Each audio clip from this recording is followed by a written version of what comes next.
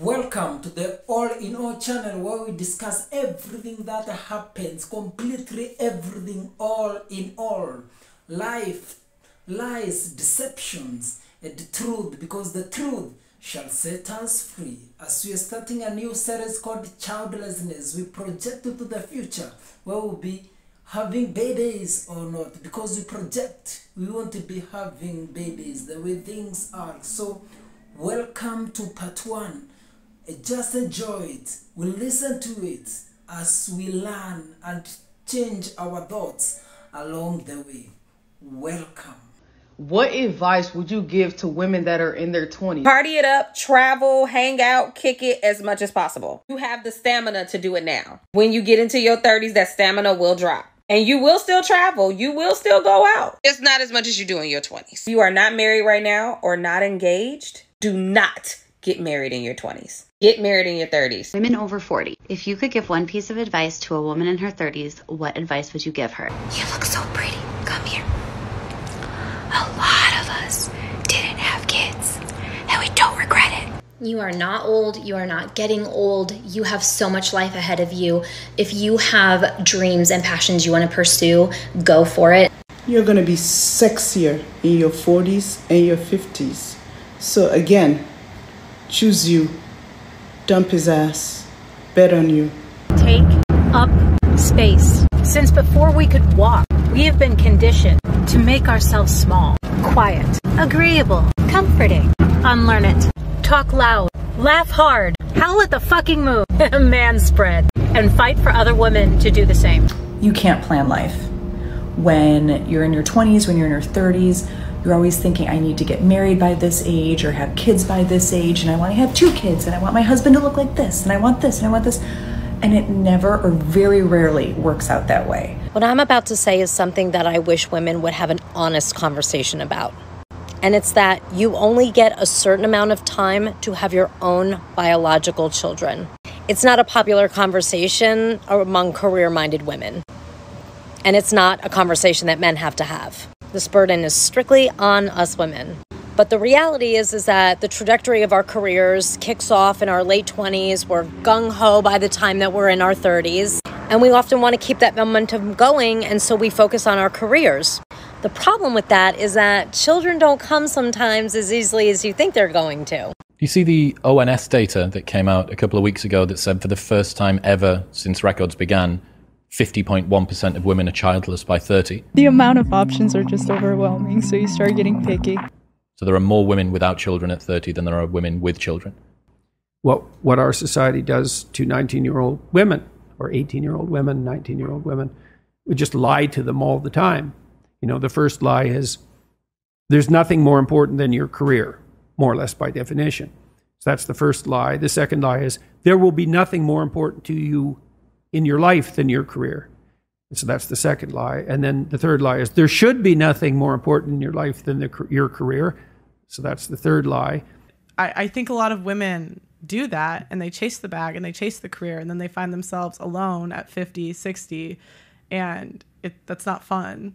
And. I think and I think a lot of older women lie to younger women about mm-hmm. this and that's what rubs me the wrong way. That's why I do what I do because I just don't believe in lying to women. How do women older women lie to younger women? Because they'll say things like like the happiest sector of women is like 45 and childless, but you could find 10 studies that disprove that for the one that they have that didn't have a proper sample size. So you're you're pushing this narrative because you don't want to be alone in your poor choices. They're almost like validating their poor decisions is what you're saying? Yeah, and you can see it in the media all the time. Like mm-hmm. every poor decision a woman makes, like you see it in the media. Like for example, like women gain weight, right? What what body positivity? That's oh, the yeah. next thing that comes out. Well, we just talked about that yeah. with Jordan Peterson, Rollo. Yeah, how Yeah women believe that they have more time than they actually do. So when we talk about like women's biological clock, we usually talk about that right around when a woman is like 30, 31 years right. old. If women have a biological clock, it's really when they're 23. That's the height of their fertility window and when they can yeah. best, you know, they're most attractive and they can carry a baby to term.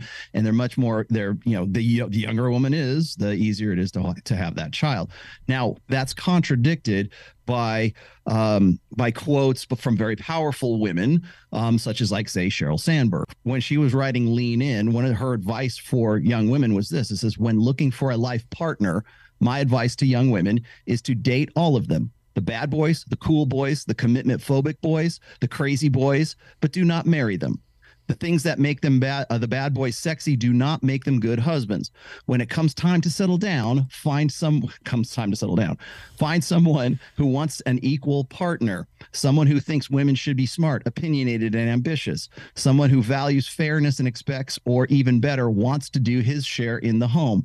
These men exist, and trust me, over time, nothing is sexier. That's the message that is countering the idea that oh be a mom settle now get, get you know find a guy who's a good bet for the future. I think the byproduct of like one thing that i probably did absorb that i wasn't even cognizant that i was absorbing was the idea that you have so much time. Um, i'm Yeah. sure that going through my life i felt like there was just a lot of time for everything. I didn't know I, I always was open to things. I personally didn't know like if i was meant to have kids. I didn't always know that. I wasn't one of those women that like just knew that right away for some reason. Um, i didn't know if i would get married. It was i didn't know but what i did feel is that i had a lot of time and what you realize is that it takes time, you know, to get to know someone, and then you get engaged, and then you move in together, you get married, whatever order you want to do that in, and then you have a baby, and that stuff takes time. That block of life takes time. So you don't have as much time as I think media would like women to believe. there is not an endless biological clock waiting. And what you see is when they hit sort of 31, they start freaking out that, oh my goodness, the, the time is running out. You know, once you hit 30, you go to the doctor. The doctor will say, oh, you know, you're 30 now. Have you thought about having kids in the next year or so? Because, you know, time's running out. And often women have not even contemplated it until that moment. But when they do, it's only in that uh, uh, point in which it's already basically too late that they look around and see there aren't many eligible men left. And why is that? Well, for women who are of a certain education level, so tertiary degree or above, in the West, so I'm talking about you know Western Europe, the United States, Australia, New Zealand, and Canada, and places like that, there are 50%, get your head around this, 50% more single women than men at age 30. Why is that? Well, number one, more women than men attend and graduate university. This is something that's been the case for the last 20, 25 years and uh, has never happened before in all of human history before that. Uh, secondly, men who are highly successful, who are driven, ambitious, educated, uh, high status positions, well, they are either already married by age 30 or they're in their 30s dating women who are in their 20s. And then, third, and this is potentially the most important, is that women, through a combination of nature and nurture, are trained from birth to marry up, so called. That is, to find a guy who's more educated, wealthy, experienced, uh, has more income uh, than themselves. Now, that's extremely difficult to do if you are a highly educated woman who's driven, career minded, uh, in a high status position, because there just aren't that many men in that category. And those that are in that category, as I said, are dating younger women. So when you're in your 20s and you're a highly attractive, driven, uh, intellectually minded woman, well, you're just surrounded by guys all of the time because you're in your 20s, you're attractive, and, and you're, you're um, you know, a high value dating partner. So women in that space don't think about it. They go, well, yeah, when I'm ready, when I've finished my university and I've got my career and I've put my deposit on the house, then I'll start to think about, you know, who I want to marry and have kids with. They reach the age of 30, and when they are in that category, there aren't any men available. Where have all the good men gone? Well, a lot of them are married. Some of them are no longer with us. And a lot of them, mm-hmm. they kind of just are sick of the fucking double standards that women are putting out there every day. And so they're just staying to themselves. They're towing their line.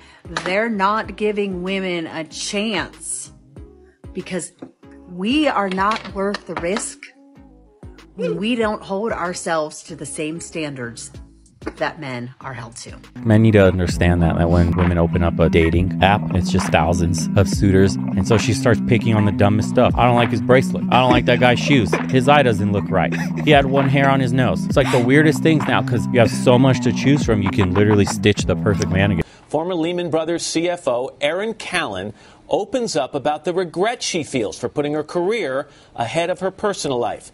The opposite of what you're hearing from other top women in business right now. She was once one of the most powerful women on Wall Street, CFO of Lehman Brothers. And I did achieve great success in my career. I'm just trying to provide a bit of what I'll call a warning label that, hey, there's something else to think about as you're leaning in, so to speak. I have had many young women over time that I've tried to give advice to, guidance to, and I would always be very honest and say, don't do it like me. You mentioned consequences. What are they? A lot of things during my career that I missed out on. You know, uh, events, relationships with people, birthday parties, just spending time with friends and family and enjoying it and enjoying myself. There was a big thing I missed out on, which is I, I didn't have children. Now 47, Erin Callan is trying to have children and offering a life lesson she wishes someone had offered her. I wanted to be a little bit sort of a cautionary tale, like you can achieve, you can accomplish, you can have an amazing career with great success, even in a male dominated field that I did. But be careful what you wish for and the choices that you make. Hi, guys. Like, I'm so sad right now because I just came to like a realization these past few days have been so hard for me. Cause like you know how men say that women have toxic feminism? And like you'll get to a certain age and like no one will want to marry you and no one will love you. Like i feel like i've gotten to that point guys. Like i was so hung on to this feminism thing and i missed out on marriage and on children and now like i'm at a point in my life where like i'm so bitter I'm so jealous of people who have marriages because they are so happy and their ch- husbands don't even cheat on them. okay, okay, okay. That, that was funny. That was funny. Hi guys. Hi guys. So today I'm gathering all my courage to talk to you guys about something you've been asking me in my comments. Uh, yeah, so it is true. I am a virgin. This is our Kenyan girl. Kenyan girl. I tell you I don't want children and then you come to my life and think you will trick me and get me pregnant. I will flash it faster than we used to flash each other before please convince it okay. Ushaenda kwa wenyewe alafu kahara. The way you flash that toilet properly. I will flash this your child. Don't joke with me. Huh? I will flash this your child. Bro, there is no shame in our country anymore. Our country, it is cloud chasing. Say whatever you want to say as long as you push whatever agenda you have in your head. who tdem she she's proud to talk about she will flash your child. Yeah, your fifth head, ata flash mtoi wako. Whichever, whatever it is you put in her, she's going to flash. Na by the time anasema hivyo ujue labda ameflash mara kaa 6 ama 7. Alafu uende upate huyu dem useme sasa umepata dem. I have a girlfriend. I, we see you walking with her in town. Na uni flash Gordon. Ai, wacha ikae.